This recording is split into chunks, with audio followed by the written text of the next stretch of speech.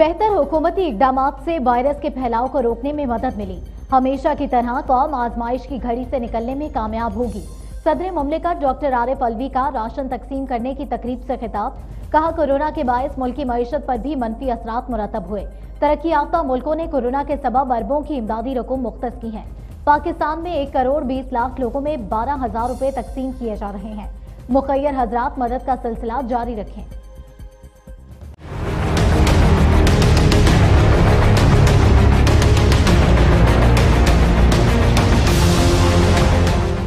ये एहसास का प्रोग्राम जो प्राइम मिनिस्टर ने शुरू किया, ये तकरीबन एक करोड़ बीस लाख लोगों तक के घरों तक वो बारह हज़ार रुपये की रकम जाएगी। जो बहुत बड़ी रकम है, इस माना करके कि एक करोड़ बीस लाख लोगों के घर पे जब गया तो हर घर के अंदर एक आदमी के पास गया तो उस घर के अंदर पाँच छः और लोग होंगे। तो ये सात आठ करोड़ लोगों तक ये बात पहुँची है।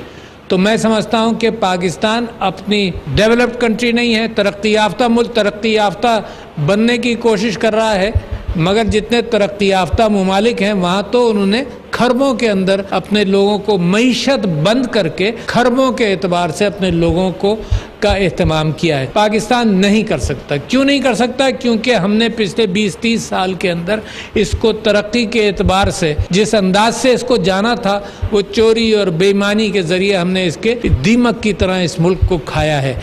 मगर मैं समझता हूँ कि जिस अंदाज से ये मुश्किल, इस मुश्किल का सामना पाकिस्तान के अवाम कर रहे हैं मैं, मुझे कभी उम्मीद है कि जितनी आजमाइशों से ये कौम गुजर चुकी है, बहुत कम कौमें इन अदवार के अंदर, इन पंद्रह, बीस, तीस सालों के अंदर गुजरी हैं।